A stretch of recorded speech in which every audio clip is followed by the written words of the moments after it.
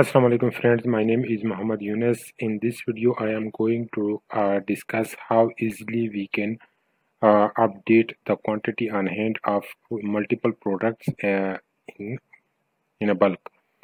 So for this purpose we will use inventory adjustment and um, so let me check uh, the Odoo version. So this is uh, currently we are using Odoo version 13 community edition. So let me check here. So there you can see and we will use inventory adjustment for this purpose. Uh, so let me go to the inventory adjustment module.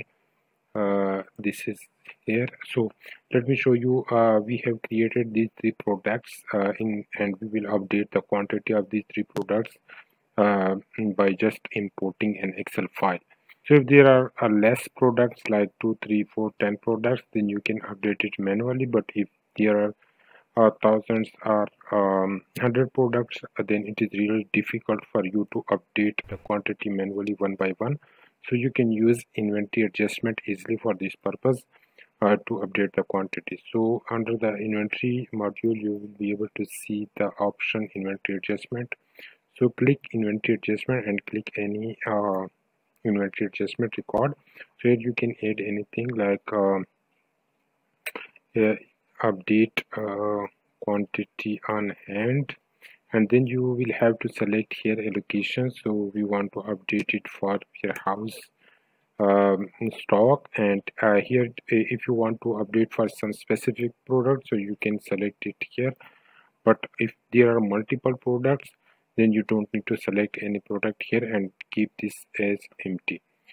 So uh, here there are uh, two options counted uh, quantities uh, default to stock on hand so it will show um, on hand quantity on the uh, other screen.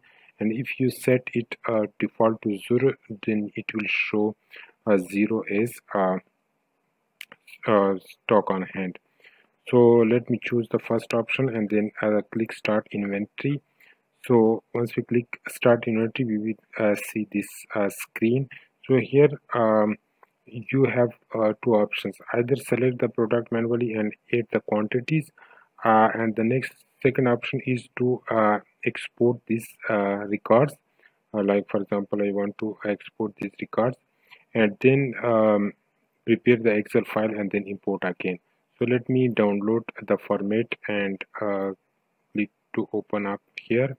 So let me select this all and then delete it delete and this is it. So here we will have to add the product name and then location and then uh, lot number. So we don't have the lot number for this product. So we don't want to import the theoretical quantity and we don't want to import uh, difference.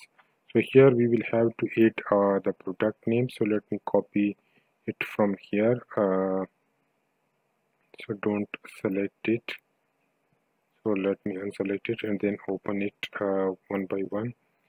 So this is the whole um, product name that you need to select uh, and put it here like this. So duplicate it and then uh, add the product name here like 2 and then here it will be 2 and then make it 3 and then edit 3 so you can use this uh, excel format to import the inventory adjustment and then uh, let me copy this to also. And here we will have to add the quantity that we want to update. So for this product we want to update 10 and for this product we want to update 15 and for this product we want to update 20 and let me copy and paste this location here also. So let me save this uh, excel file which is stock dot uh, inventory dot line 3 and uh, let me go to this screen. So here you can see the import button. So click the import button and select the file which is this one. So after selecting the file you will be able to see this screen product uh, that has been selected here. This is the location and these are the quantity that we want to update so here you will have to first click the test button to check if everything is working fine and then click the import button to update the quantity. So this is it. Uh, we have updated the quantity for these products and then uh, click validate button to update the quantity uh, in Odoo. So uh, let me go to this and uh, refresh this page. So here we can see quantity and hand has been updated for these three products. So this is the simple way that you can update the quantity on hand for multiple products uh, in a single import.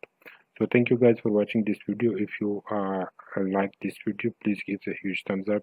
And if you haven't subscribed to our channel yet so please subscribe to our channel and click the bell icon so you can get the updates of the upcoming videos. Thank you